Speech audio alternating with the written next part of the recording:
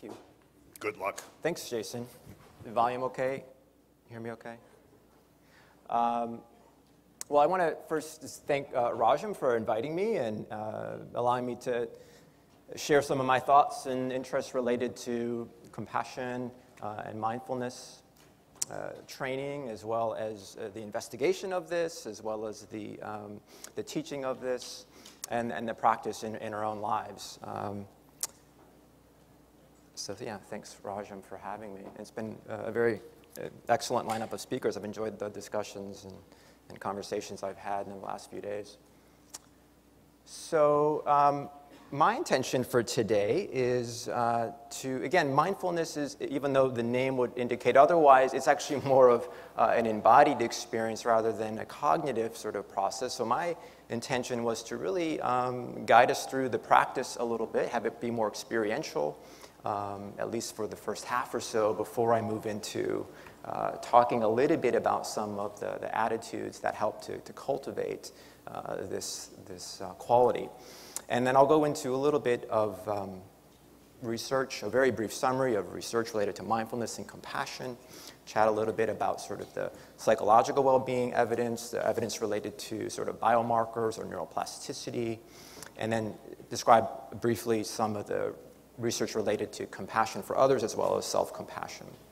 And then we'll, hopefully I'll guide you through another little practice, a sort of a, what's called a social dyad or pair and share, uh, and some interoceptive uh, mindful listening at the end. So that was, that was my intention. Also, I should just say, I'm a first generation Greek American, so I'm kind of, my conflict of interest here is I'm contractually obligated to put in lots of images of Greek mythology, so you'll see, see that sort of throughout the talk. I did want to call out Mike Stewart. I noticed his references to Socrates, so if he wants the membership card to the Greek Club, he can, he can see me afterwards. He's in.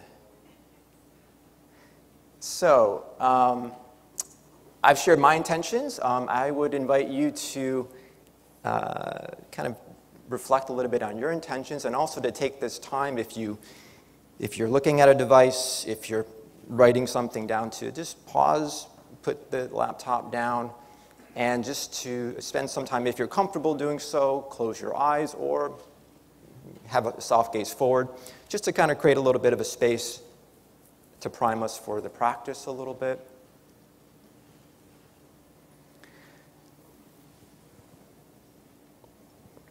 And I'd like you to just reflect on what your intentions are, I guess, in coming here, perhaps,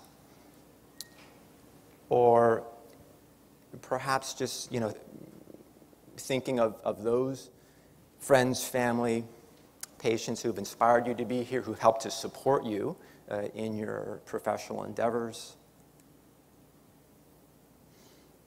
And also just to you know, give yourself a little congratulations for taking the time to come and be in a conference room when it's lovely outside and you could be spending time with other loved ones.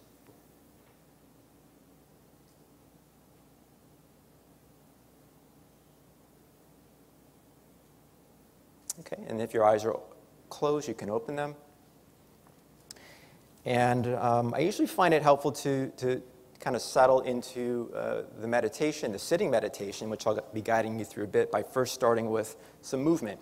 So, kind of just dropping into the body a little bit. So, uh, I'll just guide us through a five minute sort of blended uh, movement practice here with some music, just to get us up and moving around a little bit. And I guess the three sort of principles, if you want um, to kind of think about as you go into this practice, is that uh, allow yourself to just sort of be as you are, let go of the self judging that can oftentimes occur in a, a group sort of movement practice. Uh, it's also really helpful with meditative movements to go a lot more slowly than you would typically with, with other forms of exercise and to do so intentionally, consciously. And I guess the other sort of tenet with this is that less, less is often more with, uh, with these types of practices. So I would invite you to come up to standing, maybe push your chairs into the table so that you have a little bit of space. I appreciate there's some limitations here in the in the space we have, but just coming into a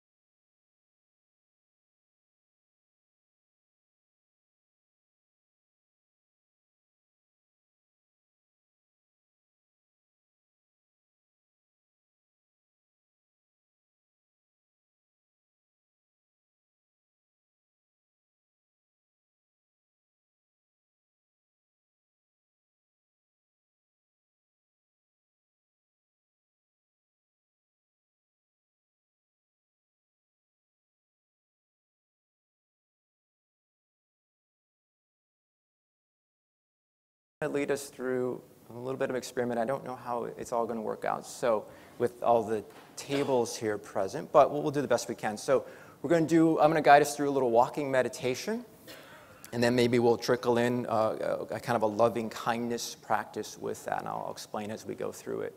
I think, um, again, typically I'm leading this in a, in a kind of an open space, but I think given the configuration of the room, what we'll try to do uh, will be more of a community practice, I guess, um, is we'll, we'll just create a, a, one long line. So it's like a, a Greek dance without the hand, holding hands and the opas. So you'll, you know, maybe let's start um, here at, at, this edge, and, and if we can all get in a single line and kind of S down the middle and then up and around that way. Uh, we'll do, uh, we'll get into that figure. And if we could do that in silence, kind of maintain the silence, that would be helpful. So as, as best we can, creating as much space as we have. If this were a Greek wedding, we'd be going outside right now and opening the doors, but. Uh, Good, so as everyone's, everyone's almost there, so kind of one long circuitous line. And I guess this, uh, starting right here, you guys will be the, the lead, and we'll just sort of go, you know, along think everyone's almost there. Uh, hopefully it won't feel too crowded, but um, I guess being mindful of one another here as best as we can. We're just going to go in a very slow walk in silence altogether. Um, and when you're doing this, you're going to just try to more or less place the feet as your object of attention. If, you, if you're feeling bold, you can take your shoes off. That's nice to kind of get more of a sensory experience with the feet, but you can keep them on if you like. Um, and so we're going to just go through um, a little bit of a walk together. And once you get to where you started, go ahead and go back to your chair. Okay, so maybe this will take a minute or two, depending on the coordination. Let's give it a go. Um, when you hear the bell, uh, I'll have everyone just go back to their, their chairs. Okay? So go ahead and walk in silence in a clockwise direction, if we can figure that out.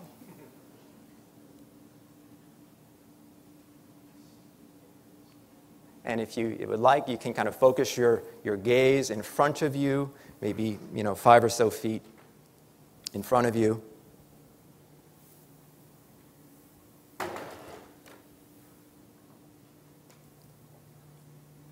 Just noticing sensations in the feet as they contact the ground.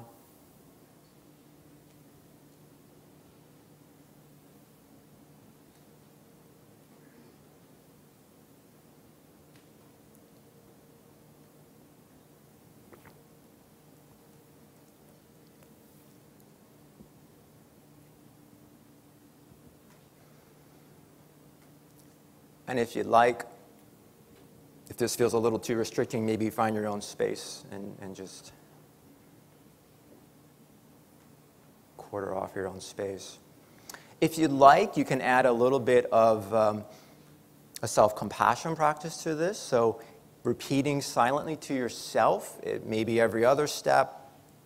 could be something like, May I be safe with one step with the other steps saying and reciting to yourself, May I be happy. Third step, May I be healthy.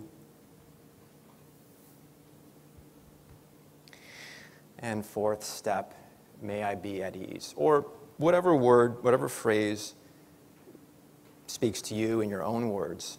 Those are just some suggestions.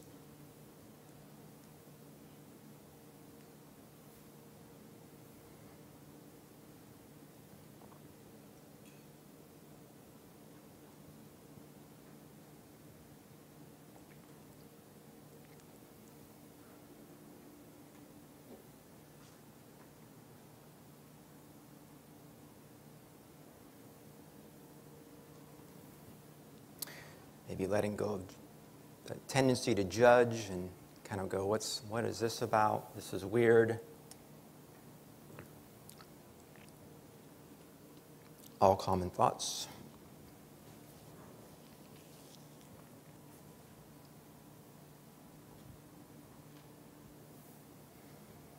And then we'll um, go ahead when you've more or less gotten to where you started, or if not, even go ahead and just sort of go back to your seat again, sort of with that same pace of walking if you could. And then I'll just sort of go through a little bit of a brief body scan and awareness of the breath practice.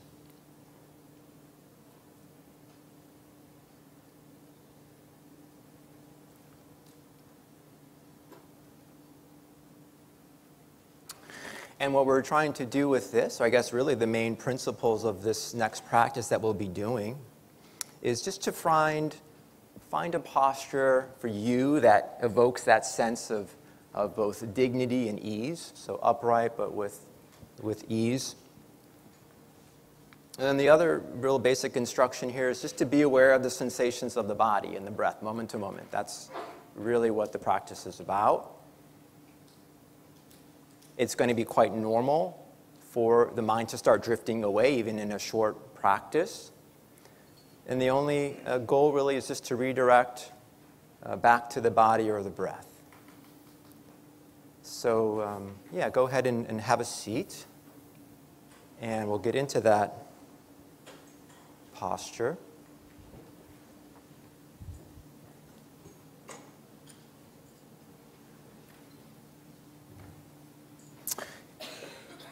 You're welcome to use the backrest, but if you're able to come forward so that your spine is a little away from the backrest, that can help to, to facilitate a little bit more attention to the body and the trunk.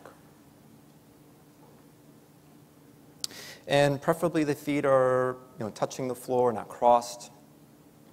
The arms can be at your lap. If you feel comfortable, you can close your eyes or you can keep them open kind of a soft gaze. And we'll start with just drawing attention to the body. Beginning maybe at the feet.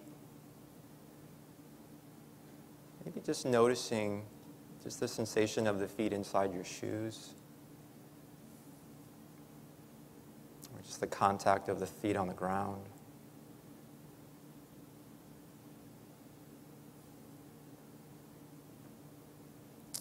And then shifting our awareness up to the legs. Just noticing sensations. You may not notice any sensations, and that's completely fine too.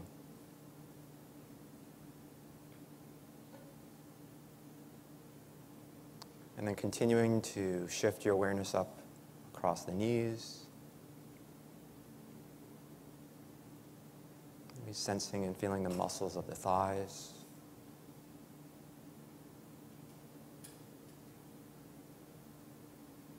And drawing our attention towards the pelvis, maybe the point of contact of the pelvis on the seat.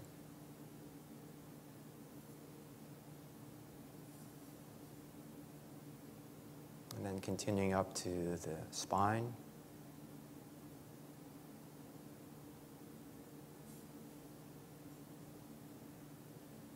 And the belly and the contents of the belly.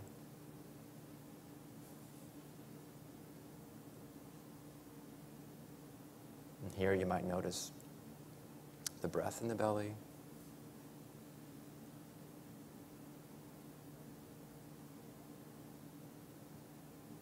And shifting up to the mid back and upper back.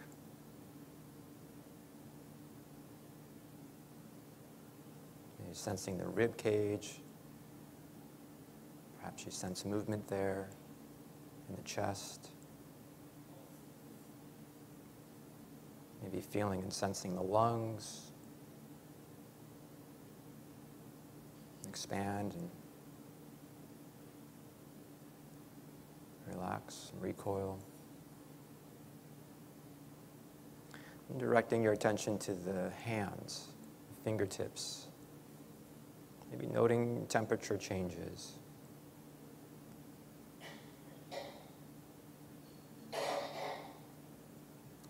shifting up towards the forearms and elbows, and the upper arms and shoulders, and the neck. Maybe noticing on the in breath if you can sense the air coming in through the throat.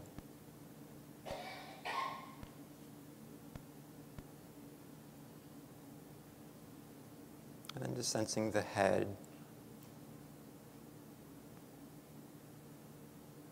Maybe the muscles around the face.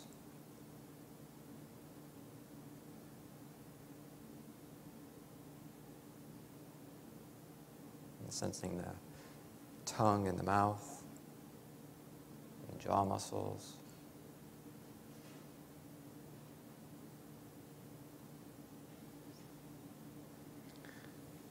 Directing our attention to the breath. Maybe just noticing where you, where you sense the breath most prominently on the inhale. Maybe it's the nose or the throat or chest or belly, wherever it is, just sort of rest your attention in that place that feels most prominent for you.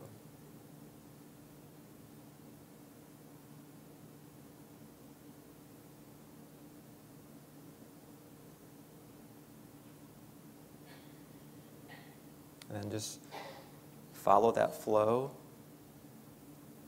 ride that wave of the breath.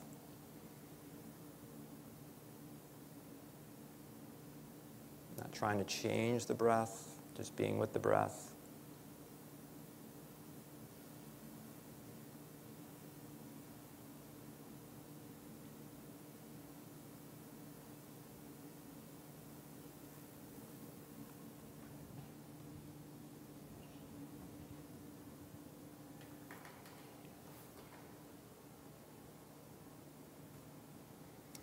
And then when you hear the bell, uh, you can slowly open your eyes. It's usually nice to um, sort of slowly orient yourself to, to the room again.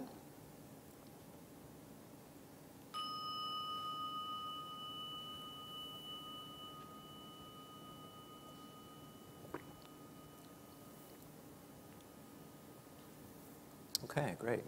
So thanks for indulging me with that. I guess I forgot to, I was going to ask initially if, uh, by show of hands, just to get a little lay of the land, um, how many people uh, have a, uh, a, meditative practice?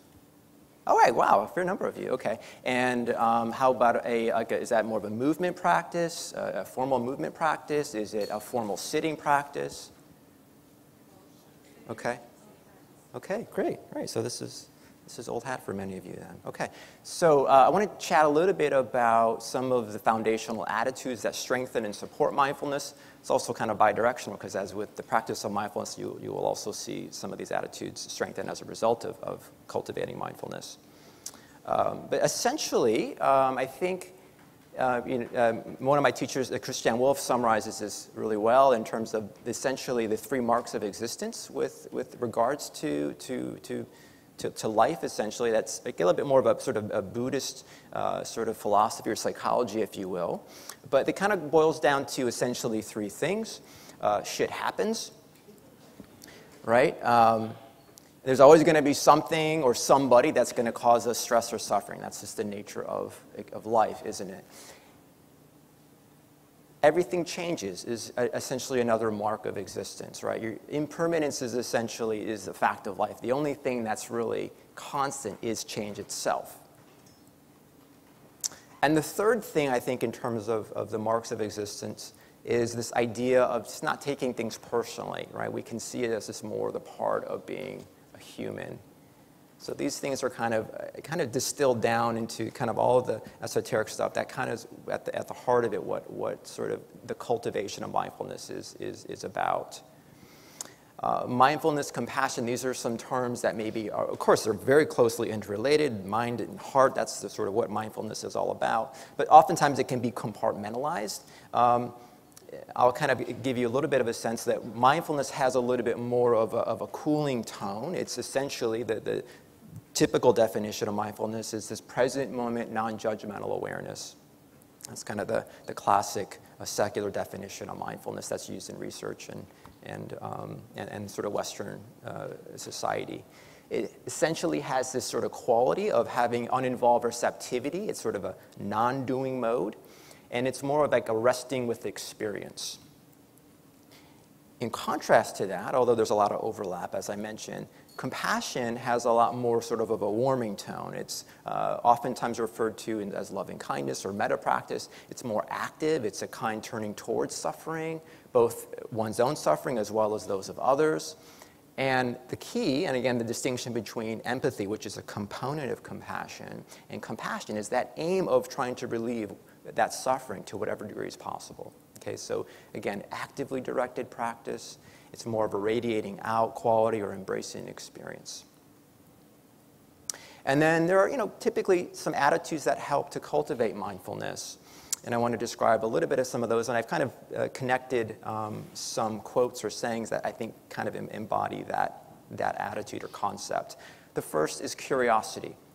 Uh, what is here that I'm not yet aware of? And I think there's a lot of overlap with one I'll be mentioning later called beginner's mind. There's this quality or attitude of kindness.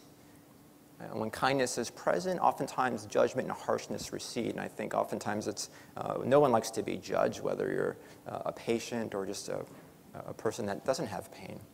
Um, and I think the, this quote from Dipa Ma uh, really kind of encapsulates this quality of kindness. And she sort of states that when you're aware, aren't you also kind?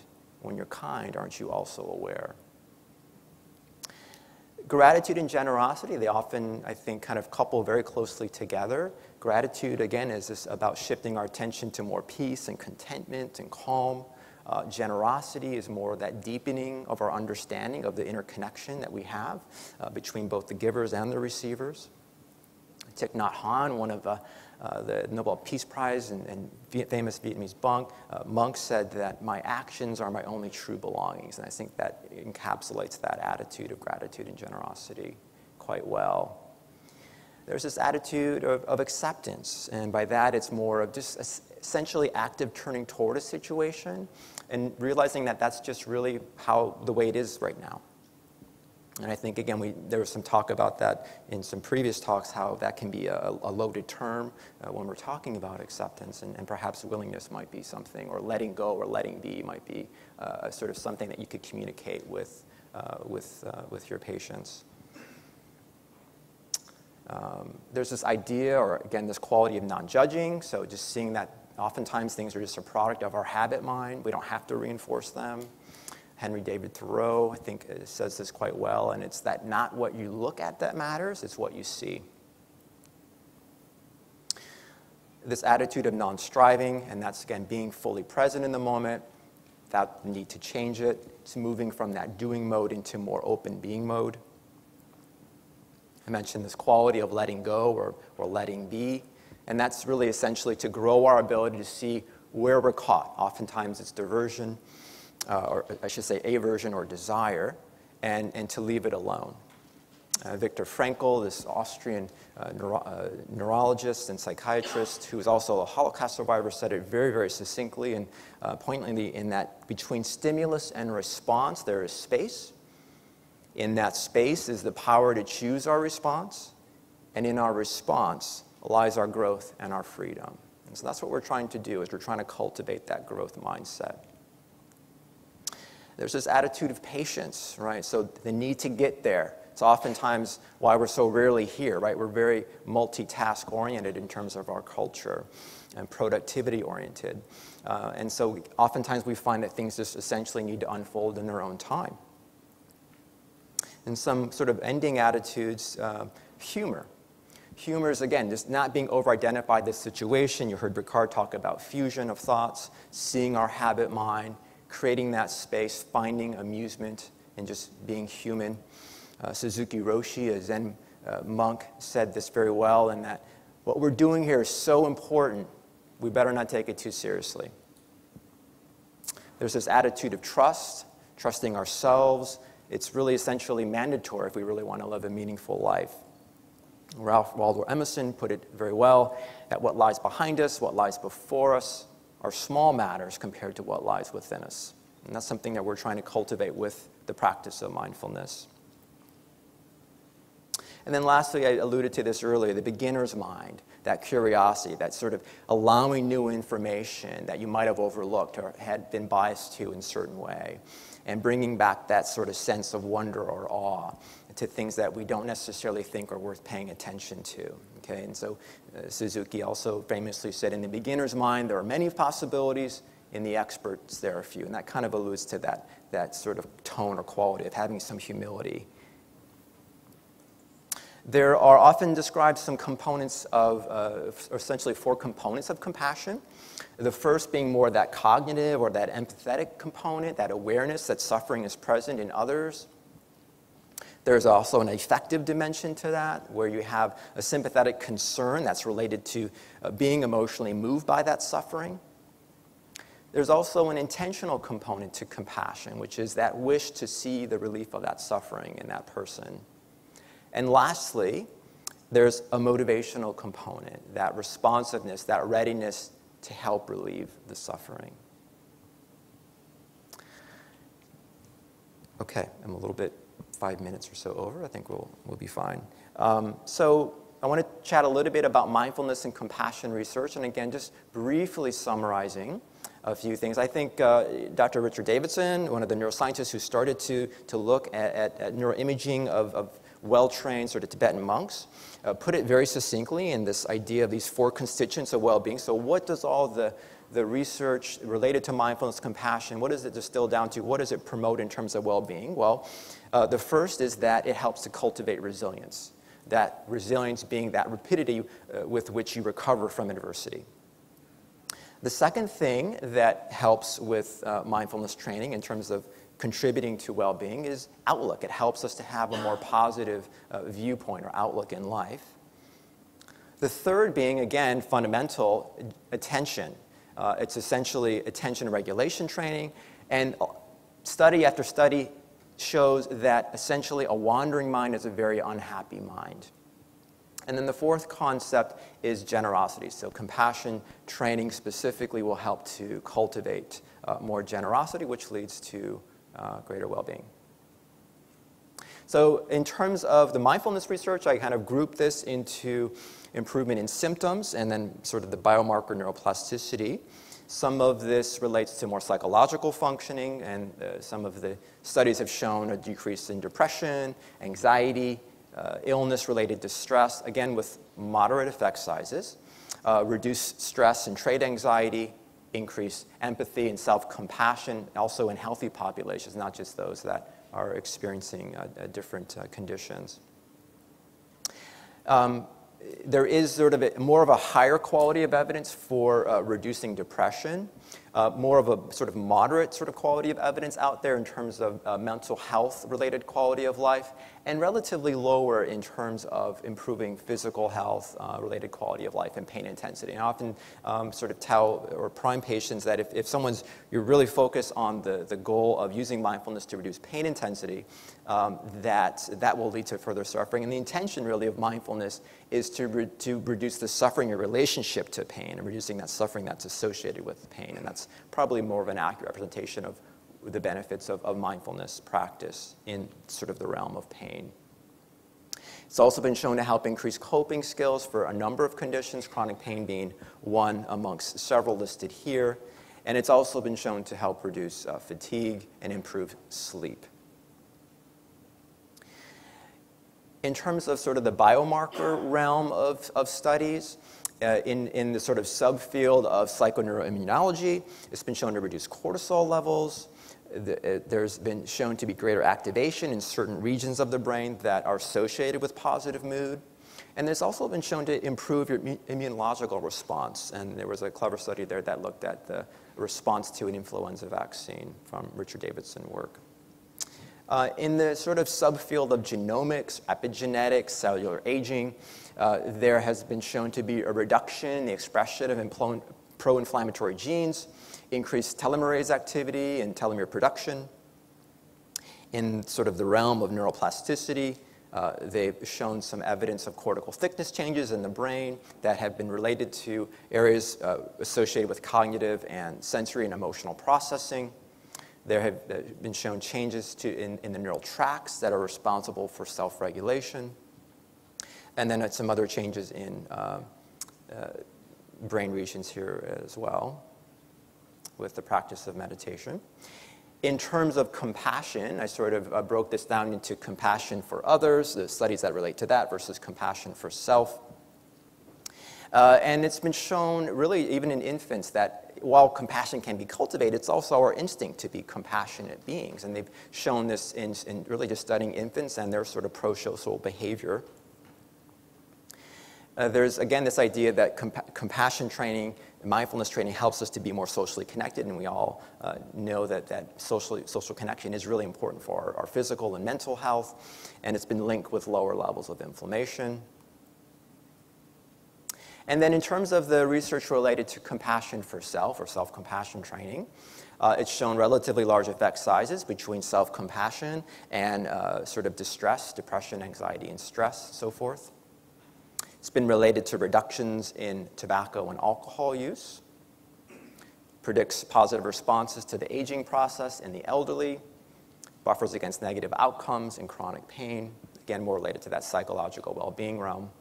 It's been associated to be related with lower stress and anxiety and shame for people with HIV. It's been shown to reduce anxiety, cardiac responses, and alpha amylase for uh, people with heart conditions and then lower levels of infl- inflammatory markers, even in healthy individuals. That was a really brief uh, review, um, and if you would like to delve into this further, um, many of these sort of mindfulness research centers that I have listed here uh, have great resource tabs that can get, provide a summary as well as a full length of their publications. Um, if you want something more easily digestible that you can disseminate to patients, the Greater Good magazine uh, provides more kind of a, of a layperson friendly, patient centered sort of languaging, which can be helpful. Um, there's a, a, great ebook here from uh, called Compassion, and it's from Tania Singer's work at the Max Planck Institute. There's, of course, the NCCIH that has a lot of uh, evidence listed on their website.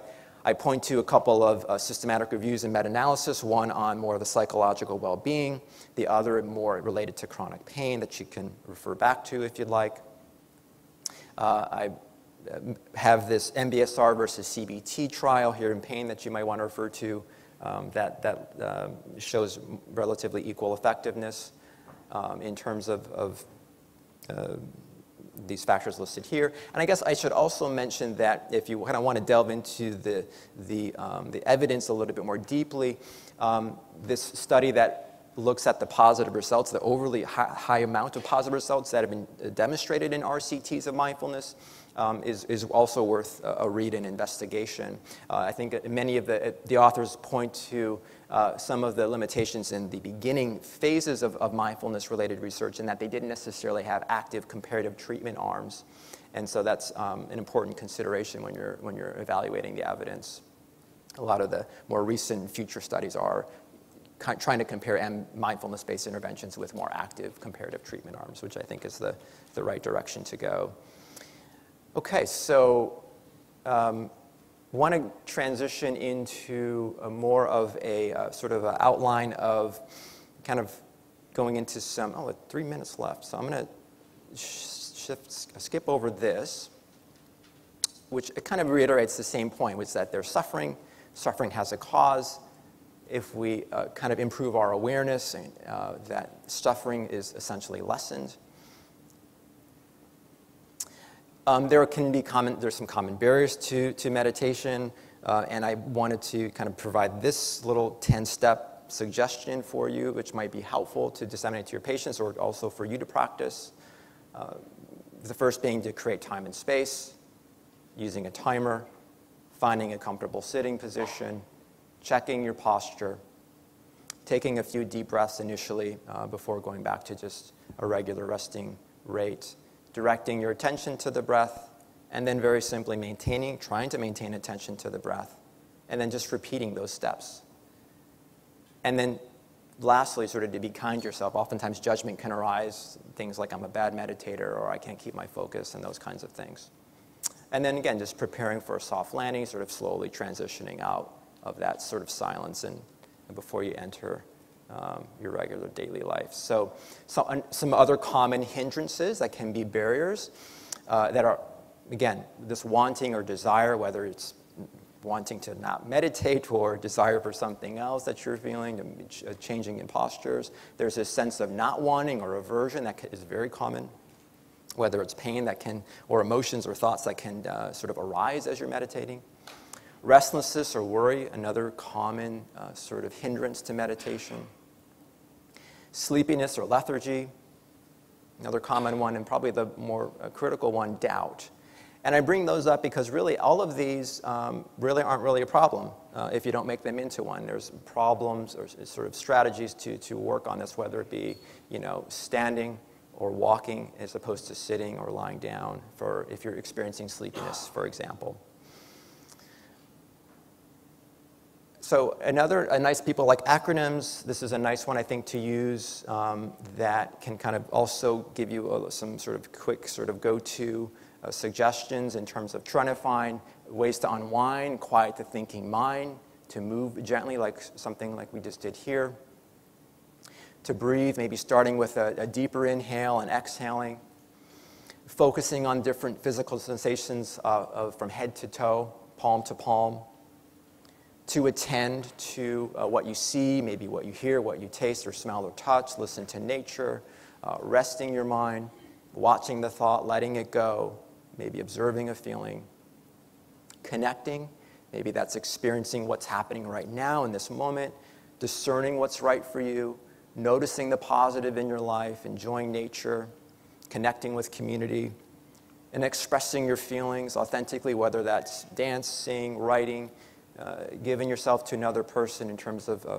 compassion or a hug, uh, or stranger or volunteer. Um, in terms of listening, I think a lot of this has been reflected um, with some of the uh, relationship to motivational interviewing. And a lot of these concepts really relate to also mindfulness, is to when you are with your, your patients or family or friends, to, to be there and listening with presence, with undivided attention, with your eyes, ears, and heart, acceptance, curiosity, delight, silence, using encouragers, and reflecting. I was going to go through this exercise, this parent share, but I, I'm getting a red light here, so I think um, maybe this is something you can practice after this. And uh, it was essentially just to uh, do a little parent share of having that person uh, who's sharing talk about a stressful situation in the last few hours and how it's felt in their body. We were going to switch roles and, and also go through that. And then also uh, reflecting on a moment of gratitude you've experienced. And this is a nice practice that you can use in a group uh, to kind of, again, work on social connection and, interoceptive awareness. Here are some other resources for uh, further training in mindfulness and compassion. Happy to share the links of these if you're interested. You can touch base with me offline. Um, here are some scales or measures to use if you'd like to measure this uh, in yourself or with your patients. Uh, I didn't go into my sort of scientific investigation, so again, if you want to uh, chat with me offline about that, I'm happy to do so. We are investigating uh, mindfulness-based intervention, uh, a large RCT, which is concluding um, in uh, the next few months, and I'll be analyzing the sensory motor features and changes that may occur, along with pain sensitivity that may occur with, with that intervention. Uh, these are some of the themes of my research, if you will. I want to express, uh, in closing, my gratitude to the teachers I've had, my mentors, related to the field of mindfulness. Um, I'll save the poem uh, due to time, and thank you for your attention.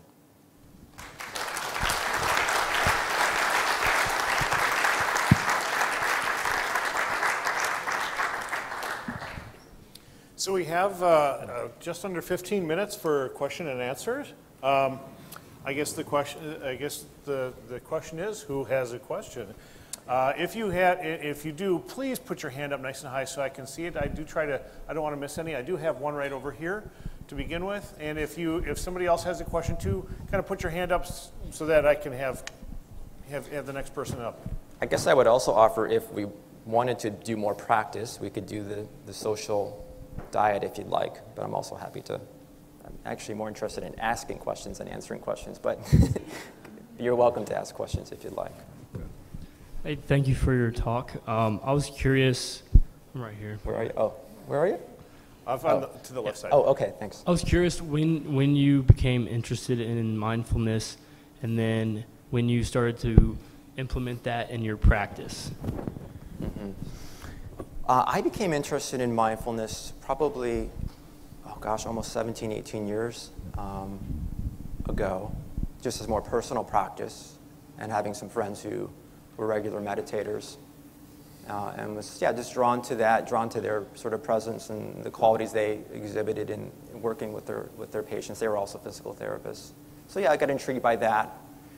Um, and then I guess, you know, really within the last 10 years, as you may know, mindfulness is, you know, pretty mainstream now. It's pretty well accepted. And so I, probably within the last few years, I was like, I could actually integrate this. I can actually talk about my personal practice and, and, and investigate it in my research. So that's, I guess, the, how that all unfolded. Yeah. Our second question was over here, and I just wanted to. Can we read the poem? Oh, wow. Oh, Would you like me to read the poem? Yes, please. That's my question. Okay. I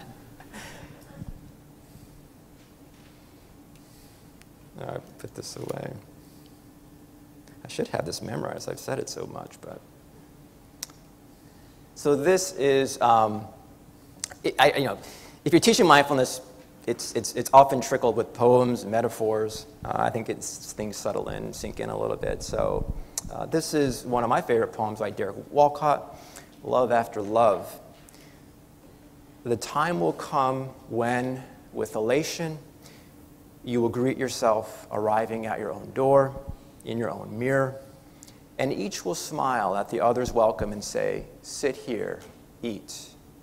You will love again the stranger who was yourself. Give wine, give bread, give back your heart to yourself, to the stranger who has loved you all your life, who you have ignored for another. Take down the love letters from the bookshelf, the photographs, the desperate notes. Peel your own image from the mirror. Sit, feast on your life. Okay, great. I'm glad I got to share that with you. Thanks for asking. so um, I, I, I, believe there was another question right up here towards the front. While the, the microphone's coming over here, um, you, it seemed to me that you incorporated several different types of movement uh, that, or that the movement that we used was maybe inspired by several different types of, of practice. I was wondering if you could just take, talk a little bit about uh, hmm. why you chose the ones that you did. Um, I, I don't know if I had a lot of, uh, well, you know, some of the movements I guess would be classified as more Qigong, flow-like. There was some mixture of yoga, Tai Chi in there. Um, you know, movement's movement, I think slow movement, breath connecting to the body. I just thought that was, uh, given, uh, I suppose, their space and what we had, I thought that'd be a nice uh, mix. So, yeah. right over here. Hi. Um, so when, when I hear of mindfulness in the popular media, oftentimes it's, it's presented as something that we should all be doing and uh, it's good for everybody.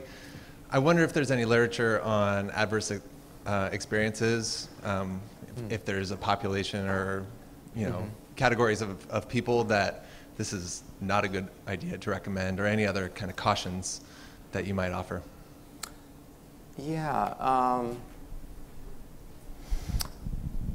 You know, it was originally developed for, you know, Jon Kabat-Zinn originally developed mindfulness-based stress reduction for the chronic pain population. I would say that um, I don't know if there has been a lot of reporting of adverse events. I, I do think that, you know, for people, again, more just uh, personal experience in teaching and leading, it can be sometimes more challenging for uh, people that have migraines or headaches, sometimes, again, that are very sort of uh, sensitive to, to stimulation um, can find that practice a bit more challenging or difficult. Not to say that they have any serious adverse events from doing it, but it, it can be a very frustrating practice for them. And, and there are also options to, again, not focus on the physical sensations of the body. You can focus on other objects of attention. So for certain people, it might be, you know, vision or hearing. Um, so I mean, it's, you know, it, it, can be very exposure, it's very exposure oriented, and oftentimes when people Um, as you, you, know, if you work with patients with pain, they, they want to avoid being present with their body. And so it's, um, it can be confrontational. And I think approaching it with some, some gentleness and giving people other options um, of attention can be helpful. And oftentimes, maybe the movement practice can be an easier transition before getting into a sitting practice. We have a question uh, online and back. Yeah, this question comes from Crystal. Um, Jon Kabat-Zinn is famous for his work in dealing with chronic pain patients. He's written a book, Full Catastrophe Living, and has a guided meditation DVD that I refer to often. Do you have resources like this available that I could suggest my patients look into? I'm sorry, was it? Was Do, do you have resources that, uh, like guided meditation DVDs or something like that, for this person's patients to look into? Oh, yeah. Um, well, sure, yeah. So you referred to the, the, the mindfulness-based stress reduction program. Uh, on that link, you can find a certified uh, mindfulness-based stress reduction teacher in their area. They also have some online programs uh, that you can um, enroll in online. I don't know if I have that slide, but anyway, yeah. There are um, certainly online programs. There are also local um, programs in uh, MBSR if they wanted a formal eight-week program. Um, or there's also kind of local retreats and meditations. And again, I have the, the links I could share with you there uh, for all those resources. We have another question right in, in back here on the right side. Thanks, um, Nick. I've got a couple of things. I suppose the first thing is I noticed a lot of Buddhist iconography in your slides, and I wondered. So I, I use it in London, and, and we're cautious not to Mm-hmm. be overtly uh, adherent to any particular philosophy or religion Right. with it. I wondered whether you encountered much uh, resistance to that. Um, and then the second thing, my second question is whether you think it's possible to introduce or signpost people to mindfulness without practicing mindfulness yourself. I didn't catch the last part. The first part I caught, which was, um, you know, are you careful to make the, when you are teaching mindfulness state to patients or within a, an MBSR program to, to kind of keep it secular, not bring in a lot of the Buddhist philosophy and psychology? Absolutely, yes. Um, I, I bring some of this up just more as a background for clinicians, um, just to get a sense of the foundations. But um, yeah, absolutely, the intention really was with the development of MBSR to deliver it in a very secular manner. Um, I think it can be helpful just to get a little bit of sense of some of the, of, of the underpinnings of, that are embedded in that secular practice. So I bring that up for this talk. But yeah, uh, patient practice, absolutely. There can be some connotations in, in terms of does this jive with my religious practice, and, and that can be a, a real you know important discussion to have for people that might be turned off to meditation. Yeah. Yeah. And I, I usually frame it in it's complementary to whatever spirituality you have, and, and, and, tend to not bring in a lot of the Buddhist psychology or philosophy. Yeah. Thank you. And the second point was just uh, your thoughts on people uh, guiding patients who don't practice themselves personally. I'm not Do sure know- I heard you. Uh, so, what your thoughts are on people who guide people in mindfulness if they don't practice themselves uh, personally? what, what do I think about that? Yeah. Yeah. Um, well, I think it's really important to, to be a, a, an effective teacher to embody the practice and to have a, a, um, you know, a formal practice as well as informal practice. And um, that's why I think it's helpful to find someone who's qualified, certified, has gone through supervision, uh, teacher training, um, and um, I think, I think the, the, the teacher facilitator is, is a really critical part uh, to the, the outcomes of, of those groups. So yeah, I would encourage people who are wanting to teach mindfulness to practice it themselves. Thank you. We have another question coming in from an online participant, and then we had somebody sitting just a few rows further. Okay, thank you. Uh, this question is, what do you recommend in terms of the frequency and or duration of a mindfulness and compassion practice? Yeah, pretty common question. Um, I typically say that a moment of mindfulness is better than no mindfulness whatsoever. Uh, so any practice you can bring in, whether even if it's informal mindfulness in everyday activities, um, and I'll oftentimes kind of give a little worksheet on ways to integrate mindfulness into everyday practice. That, that can be helpful for some people. I think to me, it's, I want to meet people where they're at. Um, if you are entering, um, say, a formal program over the course of eight weeks, it's a gentle introduction into maybe a five minute sit and progresses eventually into a 45, day, a 45 minute sit, and also within that, even a, a half day retreat. Um, it can be challenging for people to sit for, you know, 20, 30, 45 minutes.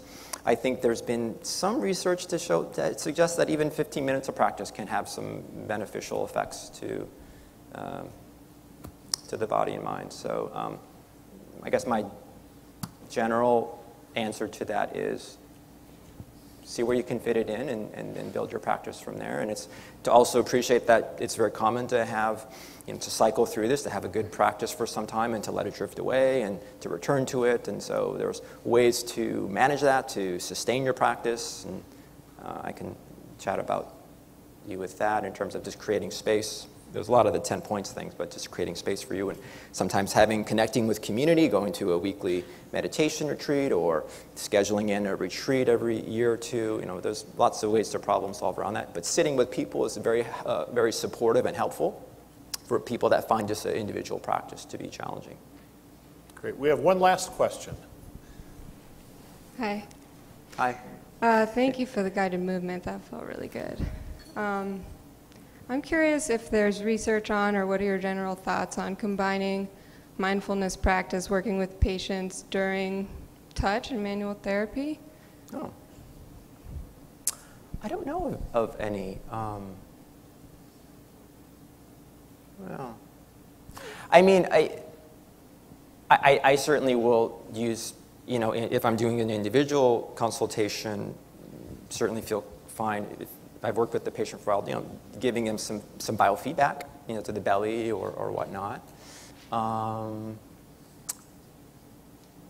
but yeah, typically it is not. You're right. It's typically it's not integrated so much with with touch. I guess because you know again the idea is really to how can you increase internal locus of control, self-efficacy, trusting your own body. But I think it can pair very nicely, and I, I certainly I touch my patients when it is in sort of that right context and they're inviting me to do that just to facilitate more, probably more the interoceptive sort of aspect, you know. So, but I don't think it's a contraindication.